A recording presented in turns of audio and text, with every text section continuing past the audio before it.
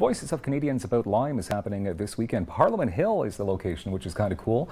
Uh, to talk about that right now, we have uh, Kele Fleming, singer, songwriter, musician. She's been doing this for quite uh, an amount of time. Like you're super famous, is what I'm trying to say here. Like people know you. In my own mind. People know yeah. you. Know we know you. We're, we're going to be talking about uh, the album and everything you've been up to, uh, as well. Lesley Fleming, who happens to be well, she has the same last name as you. So why why is that? You guys are related, right? We're sisters. Yeah. Yes. Okay. Figured that out. It's Spokesperson. it's a sister act going on here. Spokesperson for Vocal Ottawa. Tell us about Vocal Ottawa.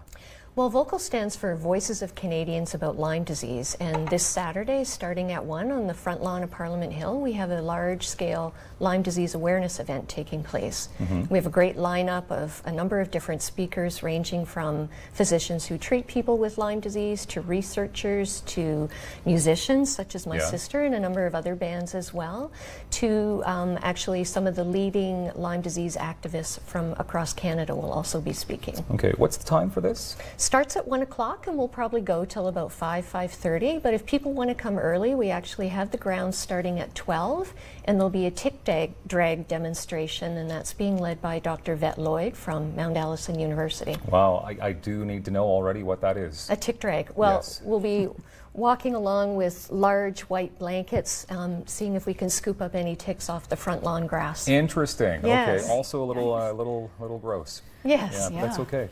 uh, Lesley, tell us, uh, you you are suffering with uh, Lyme disease. Yes, I have Lyme disease. I was diagnosed about four years ago, but I've probably been ill for more than 15 years prior to that. And I was treated by a physician in the United States, which is typical for people with Lyme disease in Canada who have the chronic form of Lyme disease because our, our medical system in Canada does not recognize the chronic form, so they will not treat us here in Canada. So wow. we travel elsewhere and pay out of pocket for our medical expenses. Okay, and obviously, Kele, I mean, this is your sister. You want to help out here in a big way. Uh, you have a, quite a resume. I mean, you've, you've toured around with acts like the Grapes of Wrath, and you, I mean, you've been around for quite some time in the music scene. Yeah, yeah. I'm based in Vancouver. Yeah, mm -hmm. and I've got a got a new a new CD. Out. Hold that CD up. Look at this. there okay, you I'll go. hold it I up. brought I'll one for you. Got the new CD here. uh, and how long has this CD been out for? At this point? I released it at the end of October. Okay. So I've been doing a couple of tours around, and right now doing Southern Ontario, and then I'll be heading back to Vancouver and doing Vancouver Island and BC okay. in the summer. Uh, so you're busy. So you've lent your time to busy this girl, event. Yeah. Uh, lastly, obviously, I mean, there's an expense when it has Lyme disease, which is pretty hefty. Yes, mm. definitely.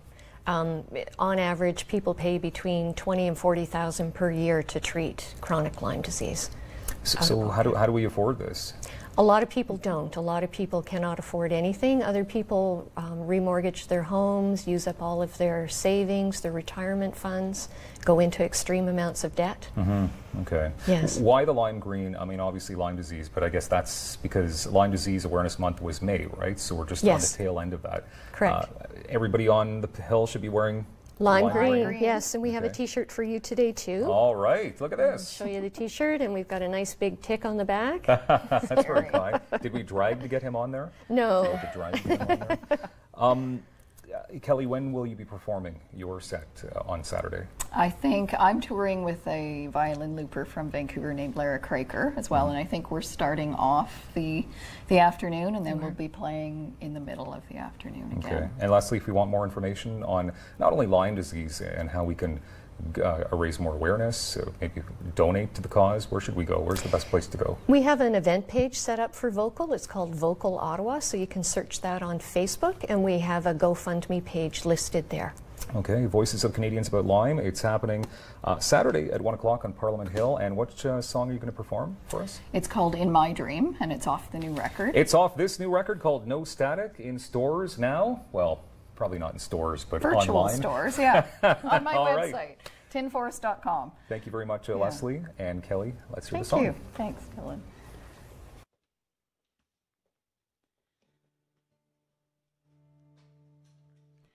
In my dream, you play the most interesting roles. In my schemes, I play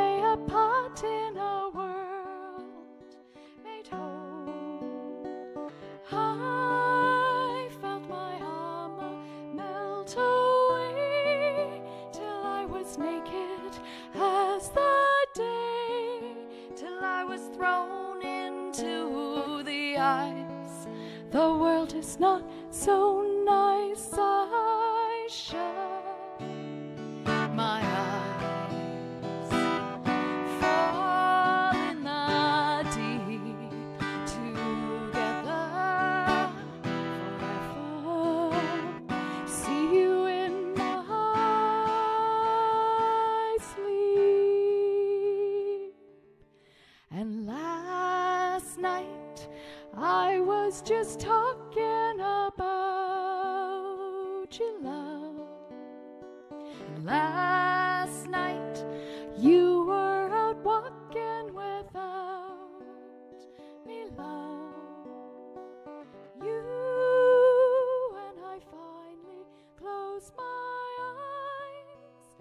All the memory that I prize because you're in my head. I can't wait to get to bed and shut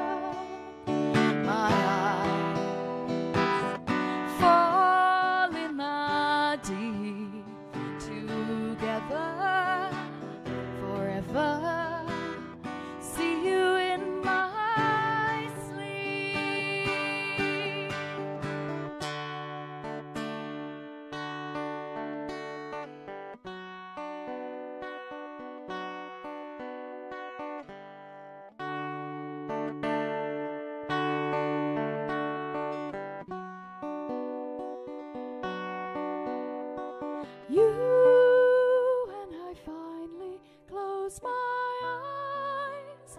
All the memory that I prize because you're in my head. I can't wait to get to bed and shut my eyes. Fall in the deep